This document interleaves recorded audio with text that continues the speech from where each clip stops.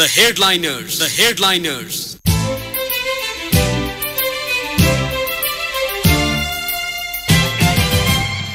नमस्कार श्रोता द हेडलाइनर्सबाट कार्यक्रम लिएर तेजेन्द्र काफले आएको छु। समसामयिक विषयमा कुराकानी हुन्छ यो कार्यक्रममा अनि तपाईँ शनिबार बाहेक अरू दिन ठिक यसै समयदेखि आधा घन्टासम्म कार्यक्रम सुन्न सक्नुहुन्छ।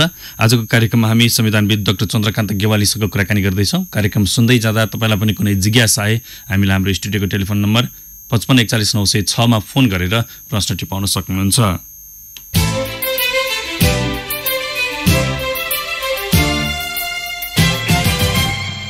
श्रोता संसदमा हिजोबाट अख्तियारका निलम्बित प्रमुख लोकमान सिंह कार्की विरुद्धको महाभियोग प्रस्तावबारे छलफल सुरु भएको छ। माओवादी केन्द्रका सांसद महेन्द्र बहादुर साईले नौबुदी आरोप लगाउँदै कार्की विरुद्धको महाभियोग प्रस्ताव संसदमा टिवल गरेपछि छलफल सुरु भएको हो। हिजो बोल्ने सबै सांसदले महाभियोग प्रस्तावमा समर्थन गर्दै पारित गर्नुपर्नेमा जोड दिएका छन्। आखिर के हो महाभियोग प्रस्ताव? यसले राजनैतिक वृत्तमा कस्तो प्रभाव पार्छ? आजको कार्यक्रममा हामी यही विषयमा केन्द्रित हुनेछौँ। यसका लागि मैले कानुनविद डाक्टर चन्द्रकान्त गेवालीलाई बोलाएको छु। उहाँ यति बेला हाम्रो स्टुडियोमै उपस्थित हुनुहुन्छ। गेवालीजी स्वागत छ कार्यक्रममा। धन्यवाद छ। खासमा यो महाभियोग प्रस्तावमा अहिले मुलुकभरि चर्चा छ। यो विषयमा के हुन्छ? संसदले के गर्छ भन्ने विषय चासोको विषय रहेको छ। यो महाभियोग प्रस्ताव भनेको के हो खासमा? अब महाभियोगलाई यसरी हेर्नुपर्छ जति पनि लोकतान्त्रिक मुलुकहरू छन् लोकतान्त्रिक संविधान बनिरहेका छन् र बनेका छन् ती संविधानमा साँच्चीकै हेर्ने भने शक्ति पृथ्वीकरणको एउटा विधा मानिन्छ महाभियोगलाई कसरी भन्दाखेरि राज्यका तिनवटा अङ्ग मानिन्छ कार्यपालिका व्यवस्थिका न्यायपालिका। यो व्यवस्थापिकाको एउटा हतियार पनि हो। यो महाभियोग लगाउने चाहिँ संवैधानिक निकायका पदाधिकारीहरूदेखि राष्ट्रपति उपराष्ट्रपति देखि लिएर संवैधानिक अङ्गका पदाधिकारीहरूलाई र अ, जजेजहरूलाई हजुर यो जसले ओथ लिन्छ नि जनताप्रति जनताप्रति र संविधानप्रति राष्ट्रपति ओथ लिएको हुन्छ शपथ लिएको हुन्छ त्यसप्रति चाहिँ लगाउने अभियोग पनि अभियोग हो भनिन्छ। अर्थात् महाभियोग भनेको सबभन्दा ठुलो अपराध मानिन्छ। हजुर हजुर। यो अपराध चाहिँ साँच्चीकै कहाँबाट सुरु भयो भनेर हेर्ने हो भने पनि यो सबभन्दा पहिला यो मन्टेस्क्यूले शक्ति पृथ्वीको सिद्धान्त प्रतिपादन गरे। त्यस पछाडि बेलायतमै दुईवटा कुरामा चाहिँ महाभियोग लगाउनुपर्छ भन्ने आयो त्यहाँ चाहिँ। हजुर खास गरिकन एउटा चाहिँ राज्य सत्ता हत्ताउने काम भयो भने त्यस्तो व्यक्ति जुन चाहिँ सार्वजनिक पदाधिकार काम गरेका छन् त्यस्तालाई चाहिँ महाभियोग लगाउने भन्ने। दोस्रो चाहिँ यदि मिसलिड गर्यो भने आफ्नो जुन पदीय कर्तव्य हुन्छ पदीय जिम्मेवारी हुन्छ त्यसको मिसलिड गर्यो भने महाभियोग लगाउनुपर्छ भन्ने त्यहाँबाट सुरु भयो। त्यसपछि अमेरिकन संविधान बन्यो। अमेरिकन संविधान बनिसकेपछि त्यहाँ पनि खास गरिकन संसदलाई चाहिँ। संसदलाई चाहिँ महाभियोगको प्रस्ताव पेश गर्नलाई त्यहाँ दियो। त्यो पनि खास गरिकन राष्ट्रपति र उपराष्ट्रपति र जजेजहरू र पब्लिक अफिसियलहरूलाई चाहिँ महाभियोगको प्रस्ताव अ, दर्ता गर्नुपर्छ र पारित गर्नुपर्छ भन्ने खालको एउटा अभि महाभियोग चाहिँ एउटा संसदलाई दिएको हतियार चाहिँ त्यहाँ पनि राखियो र झन्डै अमेरिका हेर्नुहुन्छ भने त तिनवटा राष्ट्रपतिलाई चाहिँ महाभियोगको प्रस्ताव दर्ता गरेको अवस्था देखिन्छ जस्तो अठार सय अडसट्ठीतिर चाहिँ विलियम जोन्सनलाई पनि त्यहाँ चाहिँ आफ्नो पदको एक्ट एक्ट एक्ट बनेको थियो त्यसमा चाहिँ त्यसको विरोध गरेर भायोलेसन भयो भनेर त्यसमा चाहिँ महाभियोग प्रस्ताव दर्ता गरी। उनले चाहिँ उनलाई पनि एउटा सिनेटले चाहिँ वास्तवमा संसदमा दर्ता भएर छलफल चलाए पनि सिनेटले त्यसलाई इक्विटेट गर्न मानेन अर्थात् त्यसलाई उल्टाइदिएको देखिन्छ।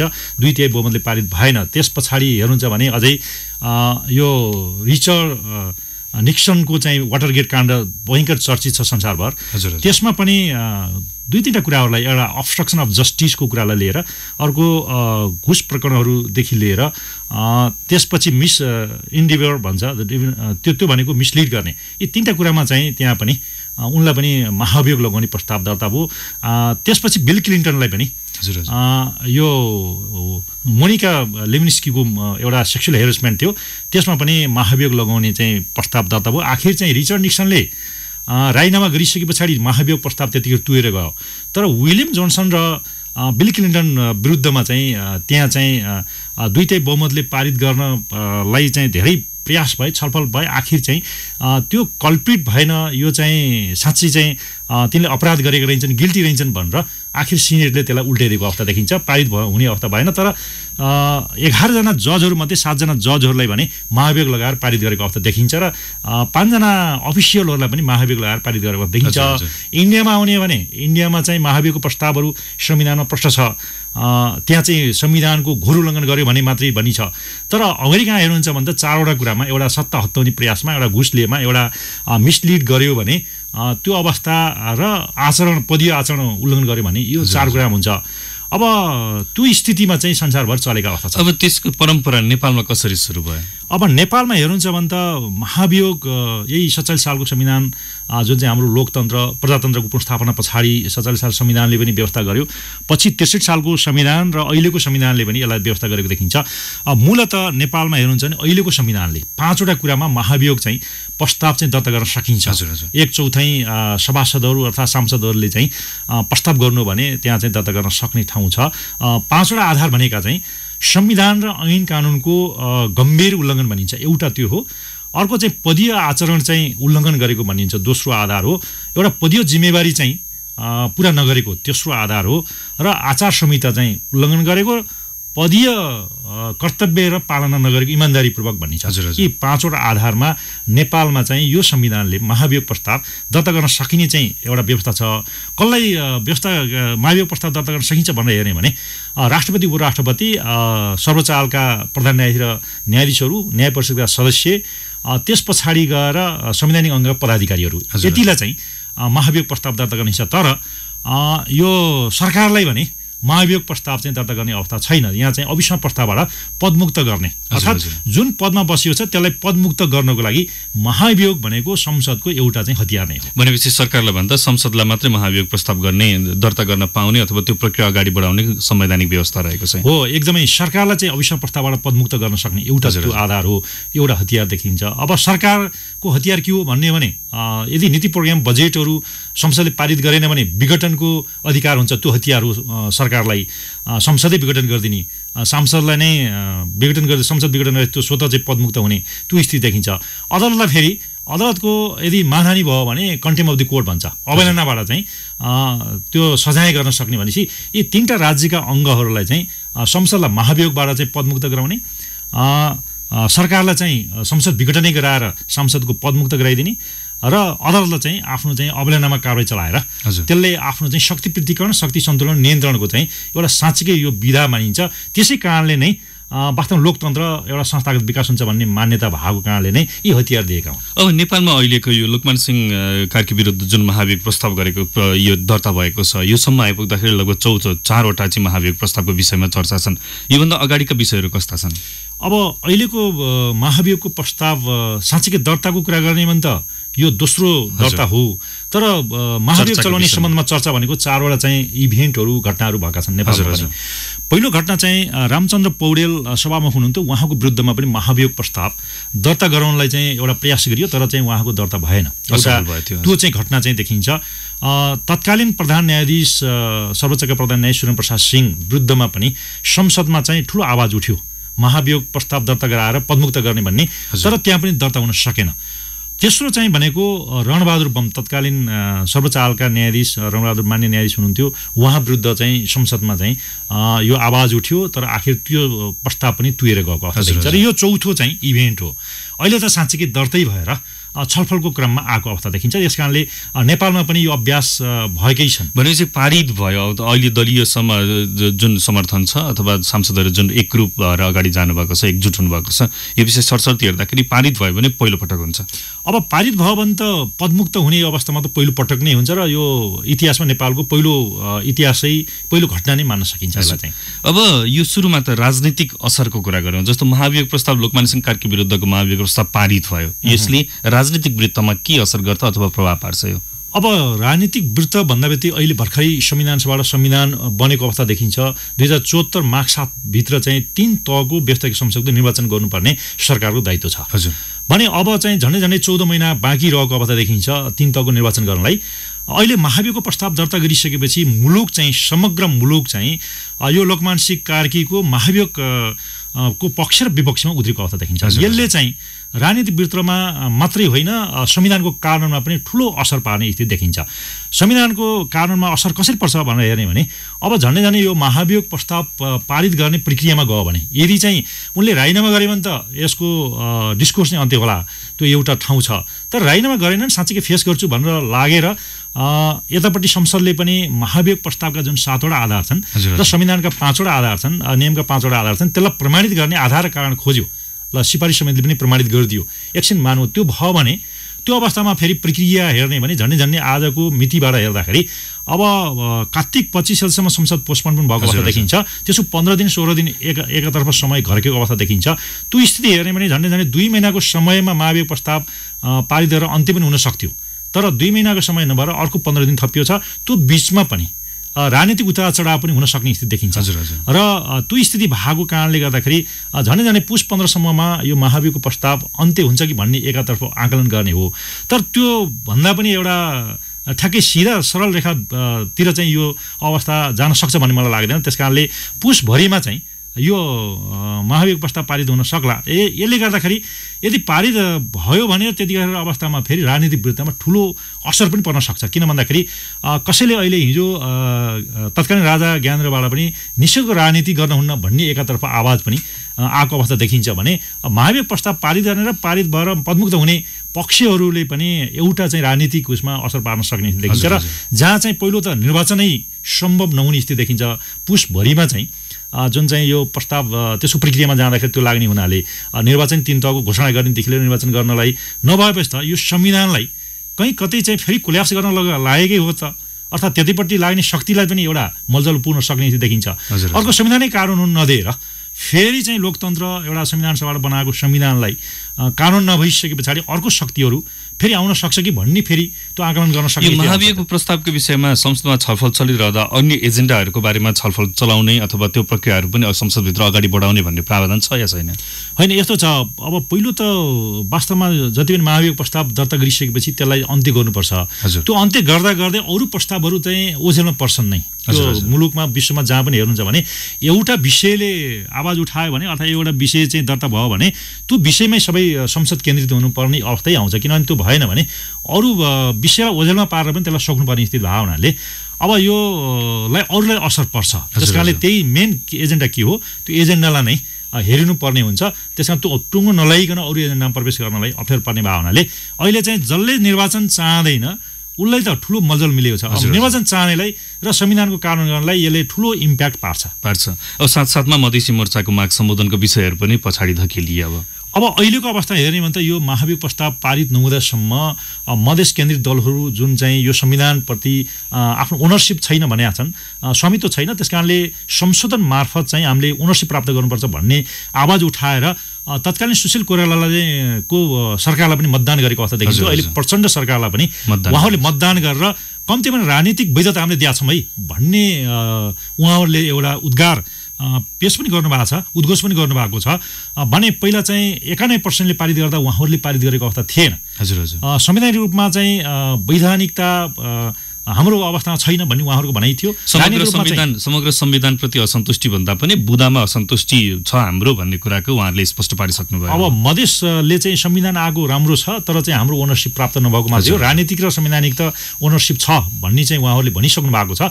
जनताको ओनरसिप चाहिँ प्राप्त गर्न त निर्वाचनै हो। हजुर किनभने जनताको सुझावहरूलाई जुन चाहिँ संविधानमा एकोमोडेसन गरेको भए जनताको ओनरसिप हुन्थ्यो।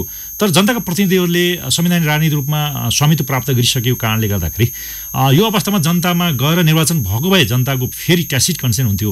अ, ट्यासिट कन्सेन्ट भइसकेपछि जनता यो संविधानप्रति जनताले पनि स्वामित्व प्राप्त गर्थे र मधेस केन्द्रित दलहरूले पनि आफ्नो संशोधन मा जुन माग राख्नु भएको छ बाइस बुधे मागहरू एघार बुधे गर्दै गएर आठ बुधे तिन बुधेसम्म आउनु भएको छ। धेरै जसो मागहरू उहाँहरूका पुरा भएको छन्। जस्तो मधेसको चाहिँ संवैधानिक आयोग हुनुपर्छ भने भन्नुभएको थियो। संवैधानिक आयोग चाहिँ आएको छ। त्यसका अधिकार कर्तव्य अझ आउन बाँकी छन्। सङ्घीय कानुनले व्यवस्थित गर्ला। अर्को चाहिँ नागरिकताको हकमा चाहिँ जुन चाहिँ जन्मको आधारमा पाएका नागरिकहरूलाई वंशजको आधारमा दिनुपर्छ उनका सन्तानलाई भनेको थियो त्यो संविधानले कर्पोरेट गरेको छ। अर्को दोस्रो माग सबभन्दा महत्त्वपूर्ण उहाँहरूको माग भनेको भूगोल र जनसङ्ख्या आधारमा कन्स्टिट्युन्सी हुनुपर्छ भन्ने थियो। त्यसलाई चाहिँ अहिलेको पहिलो संशोधनले भूगोललाई चाहिँ दोस्रो प्रायोरिटी राखेर जनसङ्ख्यालाई पहिलो प्रायोरिटी राख्यो हुनाले उहाँको ठुलो माग पनि पुरा भएको छ। अब एउटैटा माग भनेको अङ्गीकृत नागरिकताको हकमा मात्रै उहाँहरूको माग हो। र केवल चाहिँ संहिताको हकमा चाहिँ पुनर्संरचना आयोग गठन गरियोस् भन्ने भन्ने एउटा र अर्को चाहिँ यो सीमाङ्कनको कुरालाई चाहिँ उहाँहरूको जोड छ। अब गेवालीजी जस्तो जुन रूपमा मधेसी मोर्चाले पनि भोलि बैठक बस्दैछ भन्ने समाचारहरू बाहिर आएका छन् उहाँहरू नेताहरूसँग कुरा गर्दा त्यही भन्नुहुन्थ्यो आधिकारिक धारणा उहाँहरूले सार्वजनिक गर्नु होला। अब जुन रूपमा हिजो संसदमा विभिन्न नौवटा आरोप लगाउँदै महेन्द्रबहादुर साईले नेकपा माओवादी केन्द्रका सांसदले उहाँले प्रस्ताव दर्ता गर्नुभयो टेबल गर्नुभयो त्यो पछाडि छलफल सुरु भयो जस्तो संसदको विशेष अधिकार हनन गरेको अदालतको अवहेलना गरेको पदीय शक्ति र अख्तियार दुरुपयोग गरेको राज्य विरुद्ध जासुसी गरेको प्रहरी प्रशासन र गुप्तचरलाई स्वार्थपूर्तिमा लगाएको भ्रष्टाचारमा आरोपितसँग सौदाबाजी गरेको ठुला मुद्दा तामेलीमा राखी साना मात्रै चलाएको लगायत नौवटा बुँदाहरू उहाँले प्रस्तुत गर्नुभएको छ। अब यी बुँदा सरसर्ती हेर्दा अन्तर्राष्ट्रिय अभ्यास हेर्दा नेपालमा विगतको अभ्यास हेर्दा संवैधानिक व्यवस्था हेर्दा अख्तियारका निलम्बित प्रमुख लोकमान सिंह कार्की विरुद्ध संसदमा महाभियोग प्रस्ताव दर्ता नै गर्नुपर्ने बाध्यकारी अवस्था थियो भन्ने यहाँलाई लाग्छ? होइन पहिलो त संविधानले टेकेका पाँचवटा आधार हुन्। संविधान र कानुनको गम्भीर उल्लङ्घन भयो भएन भन्ने कुरा हो। यी सातवटा बुँदामा एउटा मात्रै चाहिँ आधार भयो भने पनि महाभियोगको प्रस्ताव दर्ता हुन्छ। तर त्यसको चाहिँ अनुसन्धान र अभियोजन गर्नलाई एक महिनाको समय छ नि। त्यो समय भनेकै अध्ययन अनुसन्धान यी सातवटा आधार साँच्चै कि संविधान र कानुनको गम्भीर उल्लङ्घन भयो भएन भन्ने प्रश्न त्यहाँ चाहिँ अध्ययन अनुसन्धान हुन्छ। अर्को पदीय आचरण पुरा गरो गरेन पदीय जिम्मेवारी पुरा गरो गरेन आचार संहिता उल्लङ्घन गरो गरेन भन्ने कुरा पनि त्यहाँ अध्ययन अनुसन्धानले यसले प्रमाणित गर्ने पुष्टि गर्नुपर्ने एकातर्फ संसदको दायित्व छ र सिफारिस समितिको पनि दायित्व छ। अध्ययन अनुसन्धान गर्नुपर्ने छ यो सातवटा साँच्चीकै हुन् कि होइनन् भन्ने कुरा। अर्को जुन अभियोजन लागेको पक्ष छ उसले पनि सातवटा आधार चाहिँ मेरो चाहिँ संविधान र कानुनको गम्भीर उल्लङ्घन होइन पदीय आचरण मैले उल्लङ्घन गरेको होइन पदीय जिम्मेवारी उल्लङ्घन गरेको होइन भने फेरि चाहिँ त्यसलाई डिफेन्स गर्ने मौका पनि बचाउ- बचाउको पनि आधार भावनाले कसले चाहिँ त्यसलाई पुष्टि गर्छ त्यस त्यतापट्टि चाहिँ पल्लाभारी हुन्छ। भनेपछि संसदमा जुन छलफल सुरु भयो यो पारित गर्ने जुन कार्यविधि रहेको छ अब महत्त्वपूर्ण जिम्मेवारी भनेको महाभियोग सिफारिस समितिमा रह्यो अब। अब साँच्चीकै यहाँ एउटा अर्को चाहिँ अलि अलि चाहिँ खतरनाको खतरनाक खेल पनि हुनसक्छ कि भन्ने पनि अर्को शङ्का पनि गर्न सकिन्छ। हुन त? संविधान सभा संसदभित्र चाहिँ एघारजनाको सिफारिस समिति छ। हजुर हजुर। एघारजनाको सिफारिस समितिलाई के भन्यो भन्दा बहुमतले चाहिँ यदि आधार कारण चाहिँ लोकमान विरुद्धमा चाहिँ संविधानको उल्लङ्घन गरेको अथवा पदीय दायित्व उल्लङ्घन गरेको आधार कारण देखिएन भनेर छजना बहुमतले पारित गरिदिए एकछिन मान्नुहोस् भने पारित गरिदिए भने बहुमतबाट पारित गरे भने अविश्वास प्रस्ताव फेरि संसदमा चल्न नसक्ने त्यो बनाइयो छ ऐन नियमले। नियम हजुर। यसले गर्दाखेरि संविधानमा भएको व्यवस्थालाई कहीँ कतै यो बहुमतको आधारले चाहिँ रिप्लेस त गर्ने होइन भन्ने एकातर्फ त्यो देखिन्छ। त्यस कारणले छजनाले चाहिँ यो आधार कार्ड छैन भने भने के हुने भन्ने प्रश्न पनि त्यत्तिकै यो यो यो चाहिँ संविधानमा भएको व्यवस्था विपरीत आयो कि भन्ने पनि एकातर्फ देखिन्छ। हालाकि अब संविधान संसदभित्र चाहिँ सभासदहरू हुन्छ उहाँहरू भनेको जनताप्रति ओथ लिनु भएको छ। जनताप्रति र यो देश र यो संविधानप्रति चाहिँ उहाँले शपथ लिएको कारणले संविधानको नै प्रिजर्भ गर्ने उहाँको दायित्व हुन्छ। अमेरिकामा पनि तिनवटा कुराहरू संविधानको प्रिजर्भ गर्ने प्रोटेक्ट गर्ने र त्यसको व्याख्यामा चाहिँ आफ्नो पदीय दायित्व पुरा गर्ने भन्ने पनि देखिन्छ। धेरै मुलुकमा त्यो छ। त्यस कारणले छजना सांसदहरूले जे छ त्यसको नि एउटा निष्पक्ष तरिकाले अनुसन्धान गर्नुपर्ने। महाभियोग प्रस्ताव संसदमा पारित गर्ने भन्ने विषय अब चाहिँ एघार सदस्यीय सिफारिस समितिमा केन्द्रित रह्यो। अब चाहिँ जस्तो कार्तिक पच्चिस गतेसम्म जुन चाहिँ अहिले पोस्टपोन भएको छ हिजोबाट मात्रै प्रस्ताव माथि छलफल चलिरहेको छ। अझै सांसदहरूको धेरैजनाको बोल्ने त्यहाँ चाहिँ नाम लेखाउनु भएको छ। त्यो बोल्नलाई पनि कार्तिकभरि जान सक्ने स्थिति देखिन्छ। एउटा त्यो देखिन्छ। त्यसपछि बल्ल सिफारिस समितिमा संसदले पठाउने हो। त्यो। संसदले पठाइसके पछाडि बल्ल सिफारिस समितिले चाहिँ त्यसलाई अभियोजन गर्नको लागि अध्ययन अनुसन्धान गरेर सातवटा आधार साँच्चीकै चाहिँ यो घोर उल्लङ्घन भयो भएन संविधान र कानुनको भन्ने कुराहरू पदीय जिम्मेवारी भयो भएन भन्ने कुराहरू उहाँले अनुसन्धान गर्ने स्थिति छ। त्यस कारणले यो सम्पूर्ण कन्सन्ट्रेट चाहिँ सिफारिस समितिमा त्यस पछाडि जाने हो। हजुर जस्तो अहिले हाल कायम रहेको पाँच सय पन्चानब्बे सदस्यीय संसद भन्दा पनि अबको आगामी दिनमा चाहिँ महाभियोग प्रस्ताव अगाडि बढाउने नबढाउने कुन रूपमा अगाडि बढाउने यसलाई पारितको कार्यविधि कुन रूपमा लिएर जाने भन्ने विषयहरू चाहिँ एघार सदस्यीय समितिमा निर्भर रह्यो। एकदमै त्यो नियमले गरेको व्यवस्था र संविधानले गरेको व्यवस्था एघारजनाको समिति छ। तर त्यसले बहुमतले चाहिँ निर्णय गर्ने आधार कारणलाई पुष्टि गर्ने प्रमाणित गर्ने भन्ने भएको कारणले गर्दाखेरि एघारजना मध्ये छजनाले चाहिँ आधार कारण छैन भन्ने पनि के हुने? हजुर त्यो हजुर प्रश्न चाहिँ जिउका त्यौँ छ र त्यसको चाहिँ इम्प्याक्ट पनि ठुलो पर्न सक्छ। यदि एघारजना मध्ये छजनाले बहुमतबाट यो चाहिँ आधार कारण ठिक छ। संविधानको घोर उल्लङ्घन भयो ऐनको घोर उल्लङ्घन भयो पदीय आचरण भएन पदीय जिम्मेवारी पुरा गरेन भनेर त्यसलाई पुष्टि गरे भनेखेरि त्यो संसदभित्र महाभियोगको प्रस्तावहरू अब त्यो जुन जुन दलिल उनीहरूले प्रस्तुत गर्छ अथवा समितिले अगाडि लिएर आउँछ त्यो विषयमा फेरि संसदमा बहस हुन्छ या हुन्न। होइन उहाँहरूले ल्याइसकेपछि जस्तो चाहिँ भनौँ न महाभियोग यो ठिक छ एकदम पारित छ। यी यी कारणले गर्दाखेरि महाभियोग लगाउनै पर्नेछ भनेर बुदागत रूपमा उहाँले लिएर आउनु भइसकेपछि अब संसद चाहिँ पूर्ण रूपमा यो महाभियोग प्रस्ताव पारित गर्नेतर्फ अगाडि बढ्छ। ए त्योभन्दा अगाडि एउटा हुन्छ जस्तो चाहिँ यो छलफल चलिसके पछाडि अब कार्तिक तिस गते पछाडि संसदले सिफारिस समितिलाई दिन्छ। त्यो दिइसकेपछि सिफारिस समितिले चाहिँ त्यसको सात दिनको म्याद दिएर जसलाई महाभियोग लगाएको छ उसलाई चाहिँ झिकाउने। डिफेन्सको मौका दिने एउटा प्राकृतिक न्यायिक सिद्धान्त पनि हो त्यो बमोजिम चाहिँ यी आधार कार्ड तिम्रा के हुन् भनेर उसले सोधेपछि सात दिनको म्याद दिएर यी आधार कार्ड चाहिँ यी हुन् भनेर पेश गरिसकेपछि त्यो आधार कार्डलाई पुष्टै गर्न सकेन भने त्यसमा लिखित पछाडि लिखित स्पष्टीकरण पनि आउने भयो मौखिक पनि भयो व्यक्ति आफै उपस्थित हुनुपर्ने हुन्छ। त्यो दफावार छलफल पनि चल्छ र त्यसमा चाहिँ आधार कार्ड उहाँले पेश गरिसकेपछि साँच्चीकै त्यसमा चाहिँ स्पष्टीकरण चित्तबुद्ध भएन भने बल्ल चाहिँ संसदमा फेरि उहाँहरूले अध्ययन अनुसन्धान गरेर तिस दिन लाग्छ। तिस दिन पछाडि संसदमा पेश गर्ने हुन्छ। संसदमा फेरि त्यहाँ पनि फेरि छलफल चल्छ। हजुर। छलफल चलिसकेपछि प्रत्येक आधारमा प्रत्येक आधारमा छलफल। चलिसकेपछि महाभियोगमा मतदान गर्ने हो। हजुर हजुर। भनेपछि त्यो महाभियोगमा मतदान गर्दाखेरि चाहिँ के छ दुई भन्दाखेरि तिहाई- ए, दुई तिहाई बहुमतले पारित गर्यो भने पदमुक्त हुने हो। हजुर। दुई तिहाई बहुमतले पारित गरेन भने फेरि पदमा बहाल रहने उसको अधिकार पनि हुन्छ फेरि। एकैछिन यही रोक्छु कार्यक्रममा एउटा छोटो कमर्सियल ब्रेक लिन्छु। ब्रेक पछाडि केही श्रोताको प्रश्न केही मेरा प्रश्न लिएर आउनेछु। कार्यक्रममा अहिले पनि ब्रेकको पालो।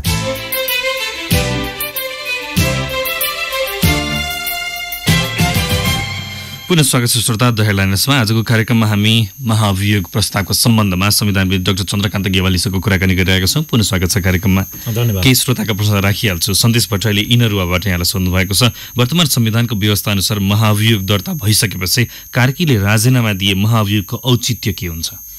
अब राजीनामा गर्ने एउटा विकल्प हो। अब राजीनामै गर्नुहोस् भनेर हामीले भन्ने कुरा पनि होइन। किनभने संसद एउटा सार्वभौम संसद हो। संसदमा चाहिँ जति आरोप आछन् त्यसलाई पुष्टै गर्ने र पुष्टै गर्न नसके पदमुक्त हुने महाभियोग मार्फत भन्ने संविधानको परिकल्पना भएको हुनाले राजीनामा गर्यो भने के हुन्छ भन्ने हेर्ने भने वाटर गेट काण्डमा रिचर्ड निक्सनलाई यस्तै महाभियोग प्रस्ताव दर्ता हुँदाखेरि उहाँले राजीनामा गर्नु राजीनामा गरिसकेपछि उहाँ चाहिँ राजीनामा गर्नु गर्नु भनेको पदमुक्त हुनु नै हो। अब यो- त्यसकारणले यो चाहिँ सहज बाटो हो पिसफुल्ली ल्यान्डिङ हो। त्यसमा पदमुक्त महाभियोगबाट पदमुक्त हुनुभन्दा राजीनामाबाट पदमुक्त हुँदाखेरि त्यो उसलाई चाहिँ महाभियोगको आरोप लागेन। हजुर त्यो चाहिँ सफाइ पाउने जस्तो भयो। तर साँच्चीकै पदमुक्त हुने हो भने त महाभियोगबाट हुने भने त्यो त अभियोग पनि महाभियोग भने ठुलो अपराध हुन्छ। अब यो महाभियोगबाट उहाँलाई उहाँ निलम्बनमा पर्नुहोस् अथवा पदमुक्त हुनुहोस् अथवा राजीनामाबाट पदमुक्त हुनुहोस् दुइटै अन्तिम निष्कर्ष भनेको त पदमुक्त हुने नै हो। तर महाभियोगले पार्ने प्रभाव चाहिँ अलिक बढी भयङ्कर हुन्छ नि होइन यसमा अब राजीनामा गर्यो भने त्यति प्रभाव पर्दैन राष्ट्रमा चाहिँ निर्वाचनको मुलुक सङ्ग्राममा जान सक्छ किनभने दुई तिन महिना लाग्ने समय त्यो चाहिँ पहिले नै बचत हुने भयो। हजुर। त्यो एउटा हुनसक्छ र एउटा संविधान कानुन हुनसक्छ। महाभियोग प्रस्ताव फेस गरियो भने राजनीतिक वृत्तमा ठुलो इम्प्याक्ट पर्न सक्छ। किन भन्दाखेरि एउटाले केही कुरा अघि पनि मैले सङ्केत गरिसकेको छु। राजा ज्ञानेन्द्रले पनि त्यसलाई चाहिँ निषेधको राजनीति भनेर त्यतापट्टि नि पुष्टि गरेको अवस्था देखियो हुनाले पुसअप गरेको अवस्था देखियो हुनाले।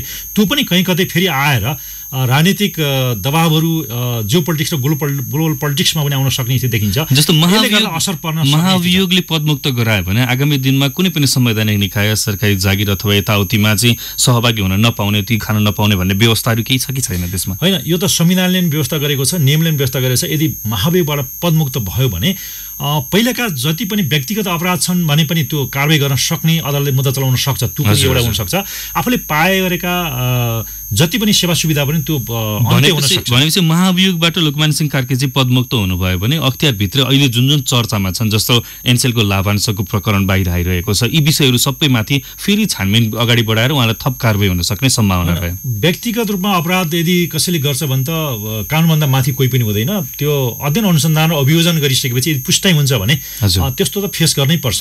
हजुर, अरू अपराधहरू पनि लगाउन मिल्दैन भन्ने हुँदैन। त्यो त संसारकै मुलुकमा चलेकै अभ्यास छन्? अब जुन रूपमा महाभियोग प्रस्ताव संसदले पारित गर्यो संसदले पारित गरिसके पछाडि यो सँगसँगै अहिले सर्वोच्च अदालतमा उहाँको जुन जागिर खाने शैली छ होइन अथवा जुन परम्पराबाट जुन प्रक्रियाबाट उहाँ अगाडि बढ्नुभयो यो अख्तियार प्रमुख नियुक्ति हुनुभयो यो विषयमा पनि बहस सुनवाई चलिरहेको छ। यो प्रक्रिया के हुन्छ? सर्वोच्च अदालत माथिको प्रक्रिया के हुन्छ अब? सर्वोच्च अदालतको त एउटा प्रक्रिया हुन्छ कानुनी प्रक्रिया छ जुन म्याद तामेल गर्नलाई जुन अब्स्ट्रक्सन अफ जस्टिस भयो भन्ने चाहिँ सुप्रिम कोर्टले पनि केही लाग्यो र पछि त्यसलाई नै आधार बनाएर संसदले पनि महाभियोगको एउटा आधार पनि बनाएको अवस्था देखिन्छ।